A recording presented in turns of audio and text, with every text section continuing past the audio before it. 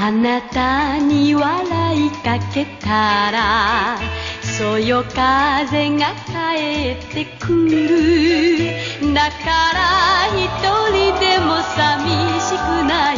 若いって素晴らしい。あなたに声をかけたら歌声が聞こえてくる。だから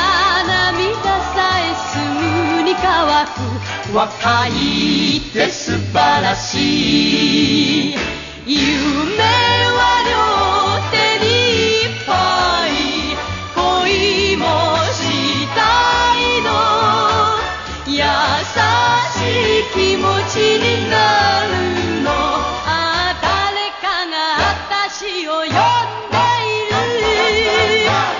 なたがいつか言ってた。